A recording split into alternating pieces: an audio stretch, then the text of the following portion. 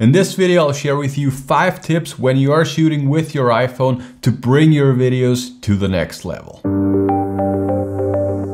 Hey, what's up guys? Julian from smartphonefilmmakingpro.com here, the ultimate online course about smartphone filmmaking. And today I have a few tips especially for you iPhone users out there that want to just step up their smartphone video quality to the next level. All those five tips that I have for you are easy to follow and basically anyone can do them. So I would say without any further ado, let's hop into the first tip. And the first tip that I have for you is to choose the correct frame rate. You know, when you are in your stock camera app, at the top right, you can just tap on it and then you can see in which frame rate you are currently in. You can pick between 24, 25, 30, 60, or even 120 or 240 frames per second. And it does make a difference which frame rate you are using. And it absolutely depends. There is no right frame rate that you can use for any scenario.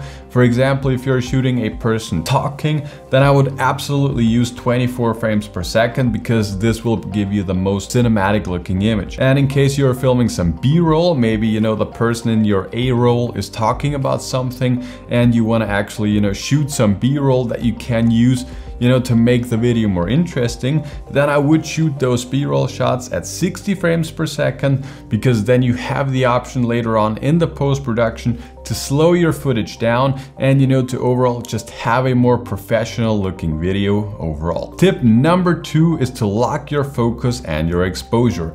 A surprising high amount of people do not know that even on iPhones and even in the stock camera app, you are able to lock your focus and your exposure. And you know, doing this will have the advantage that your focus and your exposure is not changing whilst you are recording. And this overall makes your videos just look more professional because if you're watching, you know, movies in the cinema or, you know, just professional video overall, you never see changing exposure. You know, sometimes you see a focus pull and change of focus. This does happen. But, you know, when you are shooting with phones, basically the phone is constantly searching for the correct exposure and the correct focus point. So there is constantly a change in the image and this overall just makes it, you know, you, it makes it more obvious that you shot this on a smartphone. But if you just press on your screen for a longer time, you can actually see that it says, okay, focus and exposure is locked. And then if you slide with your finger up and down, you can actually,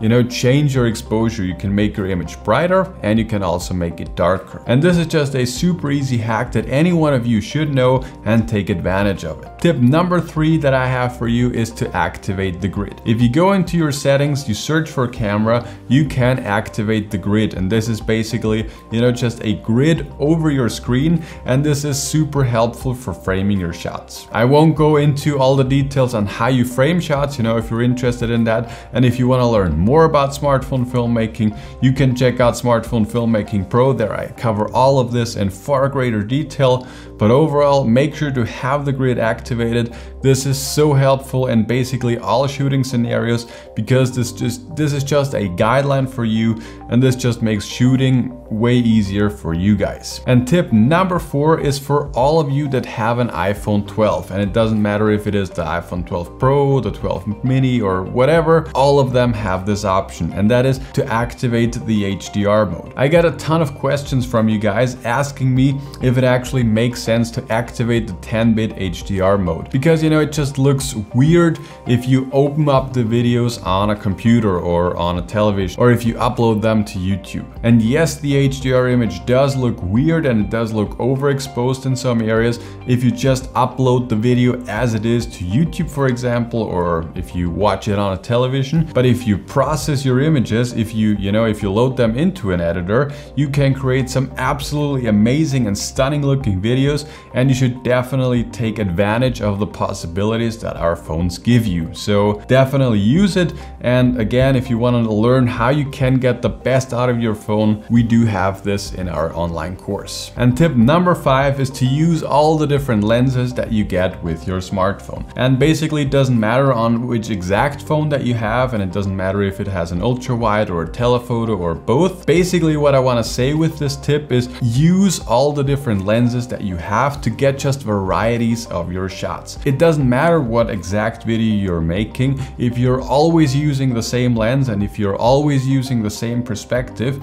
it just gets boring very quickly for the viewer. It might be a good interesting story and that is still the most important part, but it just gets boring visually. So for example, if you do have an ultra wide angle lens, just use this, you know, to establish a location for example. And if you're a standard lens, use this for your interview. And if you have a telephoto lens, you know, use this for some detail shots and so on. Just mix it up and make it more interesting for your viewers. And before we're going to end this video, I do have a little bonus tip for you guys, and that is to stabilize your footage.